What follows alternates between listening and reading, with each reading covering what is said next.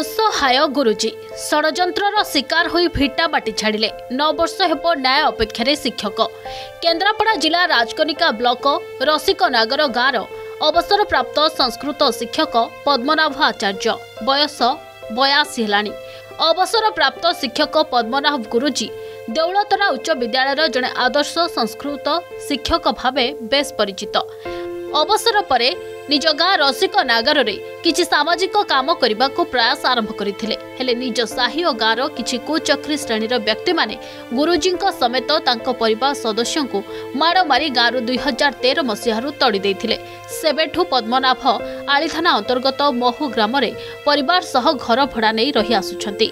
ବୟସର ଶେଷ ପାହାଚରେ ନ୍ୟାୟ ପାଇଁ ବାରମ୍ବାର ରାଜକନିକା ଥାନାକୁ ଦୌଡ଼ି ଦୌଡ଼ି ନୟାନ୍ତ ହେଲେଣି।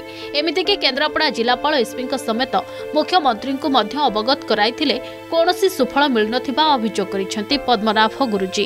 ଫଳରେ ଗୁରୁଜୀଙ୍କୁ ନ୍ୟାୟ ଦେବା ପାଇଁ ମହୁ ଗ୍ରାମବାସୀ ଦାବି କରିଛନ୍ତି। ଦୁଃଖ ଲାଗୁଛି କହିବା ପାଇଁ ଆଙ୍କ ହାତରେ କେତେ ଲୋକ ମଣିଷ ନ ହୋଇଛନ୍ତି। ଆଇଏସ୍ ଓଏସ୍ ଆଇପିଏସ୍ କେତେ ଲୋକ ସେ ମଣିଷ କରିନାହାନ୍ତି। କିନ୍ତୁ ଆଙ୍କ ଦୁଃଖ କ'ଣ କାହାରି ଦେଖାଯାଉନି ଯେ ଆଠ ବର୍ଷ ହେଲା ଗୋଟେ ଭଙ୍ଗା ଘର ଭଡ଼ା ପଡ଼ିଛନ୍ତି କାନ୍ଦୁଛନ୍ତି କାନ୍ଦି କାନ୍ଦି ମାଉସୀ ମଧ୍ୟ ଚାଲିଗଲେ। ଏସ୍ପି ଡିଏସ୍ପି ମୁଖ୍ୟମନ୍ତ୍ରୀ ପର୍ଯ୍ୟନ୍ତ ଯାଇଛନ୍ତି କାହା କିଛି ନ୍ୟାୟ ମିଳିଲାନି ତାଙ୍କୁ। ଆଉ ଯେ ପୋଲିସ ପ୍ରଶାସନ ଏଇ ବି ଲାଞ୍ଚ ଖାଇ ବସି ଯାଉଛି ମୋ କହିବା କଥା ଏ ମଉସାଙ୍କୁ ନ୍ୟାୟ ମିଳୁ ନଚେତ ଏ ଅନ୍ୟାୟ ଯାହା ଅନ୍ୟାୟ ହେଉଛି ଏଇ ସବୁ ବାପା ମାଆଙ୍କ ପ୍ରତି ଅନ୍ୟାୟ ହେବ। କିନ୍ତୁ ଧରିତ୍ରୀ ରହିବନି। ଶ୍ୱଶୁର ଜଣେ ଥିଲେ ହାଇସ୍କୁଲ ସାଂସ୍କ୍ରିଟ ଟିଚର ଥିଲେ।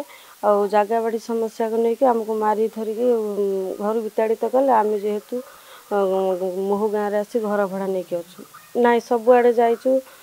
ଥାନା ଫାଣ୍ଡି ସବୁଆଡ଼େ ଯାଇଛୁ। ଏସ୍ ପି ଅଫିସ ଜିଲ୍ଲାପାଳ ସମସ୍ତଙ୍କ ପାଖକୁ ଯାଇଛୁ କେହି ଆମ କଥା ବୁଝିଲେନି।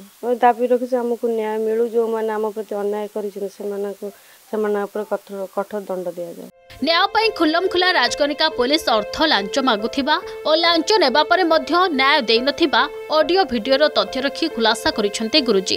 ତେବେ ପେନ୍ସନ୍ ଅର୍ଥରୁ ବାରମ୍ବାର ଖର୍ଚ୍ଚ କରି ନିରାଶ ହୋଇ ପଡ଼ିଥିବା ନେଇ କହିଛନ୍ତି ପଦ୍ମନାଭଙ୍କ ସାନ ପୁଅ ଦୁଷ୍ମନ୍ତ ଆଚାର୍ଯ୍ୟ।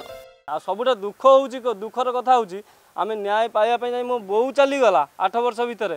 ମୋ ବାପା ବି ଆସିକି ପରିଣତ ବୟସରେ ପହଞ୍ଚିଲେଣି ଆସିକି ଯିବା ଯିବା ସମୟ ଆସିଲେ ବାଉଡ଼ିଆ ସମୟ ହେଇଗଲାଣି। ଆମକୁ ନ୍ୟାୟ ମିଳିଲାନି।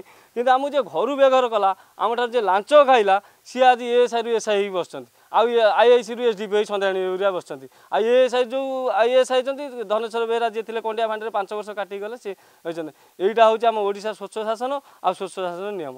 ଆମ ମୁଁ ଖାଲି ଏତିକି ଦାବି କରୁଛି ମୋତେ ନ୍ୟାୟ ମିଳୁ। ହଁ ପ୍ରତାପଦେବଙ୍କୁ ବହୁତ ଥର ଜଣା ହେଇଛି ପ୍ରତାପଦେବ ପାଖକୁ ଜଣେଇଲା ପରେ ନା ତୁ ଯା ଆମେ ଜଣେଇ ଦେଉଛୁ ଧନେଶ୍ୱର ବେହେରା। ଧନେଶ୍ୱର ବେହେରାକୁ ଫୋନ୍ କଲେ ପୁଣି ବେଶୀ ଲୁଟିଲେ। ପ୍ରତାପଦେବ କହିଲା ପରେ ବେଶୀ ଲୁଟିଛନ୍ତି ପଇସା। ଆଉ ତାଙ୍କରି ଯେଉଁ ବିଜେଡ଼ିର ଦଳୀୟ କର୍ମୀ ଅଛନ୍ତି କର୍ମୀଙ୍କ ମାନଙ୍କ ମାଧ୍ୟମ ଦେଇ ଲୁଟିଛନ୍ତି ଆଉ ସେ କର୍ମୀମାନେ ପଇସା ଦେଇଛନ୍ତି ମୋ ପାଇଁ। ମୁଁ ସୁଧ ଦେବି ସେ କର୍ମୀମାନଙ୍କୁ ସେ କର୍ମୀମାନେ ପଇସା ନେଇକି ଫାଣ୍ଡିବାଲାଙ୍କୁ ଦେବେ ତାହେଲେ ମୁଁ ଦେଲି। ମାନେ ତାଙ୍କ ହାତରୁ ପଇସା ଖର୍ଚ୍ଚ କରିକି ବି ସେ ଦେଇଛନ୍ତି ଫାଣ୍ଡିବାଲାକୁ ଏମିତି ମୋ ପାଖରେ ପ୍ରମାଣ ଅଛି ମୁଁ ଆପଣଙ୍କୁ ଦେଇଦେଇଛି ଆଉ କଣ୍ଡିଆ ଫାଣ୍ଡି ଯେଉଁ ନେଇଯିବି ପଇସା ଯେଉଁ ଫୋନ୍ ମାଧ୍ୟମରେ କେତେ ପଇସା ନେଇଛି କ'ଣ କରୁଛି ମୁଁ ଆପଣଙ୍କୁ ପଠେଇଛି। ଆପଣ ତାକୁ ଟିକେ ଭଲସେ ତର୍ଜମା କରିବେ। ଦୟାକରି କେଉଁ ତର୍ଜମା କରନ୍ତୁ ଆଉ ଏଠି କେମିତିଆ ଶାସନ ଚାଲିଛି ତାପରେ ଟିକେ ଇଏ କରନ୍ତୁ ନଜର ପକାନ୍ତୁ। ଆଉ ଆମକୁ କେମିତି ନ୍ୟାୟ ମିଳିବ ଟିକେ ସହାୟକ ହୁଅନ୍ତୁ। ସରକାର ଫାଇଭ୍ ଟିର କଥା କହୁଥିବା ବେଳେ ରାଜ୍ୟରେ କେମିତି ଚାଲିଛି ଶାସନ ବ୍ୟବସ୍ଥା ତାହା ପଦ୍ମନାଭ ଗୁରୁଜୀଙ୍କ କ୍ଷେତ୍ରରୁ ସ୍ପଷ୍ଟ ଜଣାପଡ଼ୁଛି। କେନ୍ଦ୍ରାପଡ଼ାରୁ ପ୍ରଭାତ ଲେଙ୍ଗାଙ୍କ ରିପୋର୍ଟ ଅର୍ଗସ୍ ନ୍ୟୁଜ୍।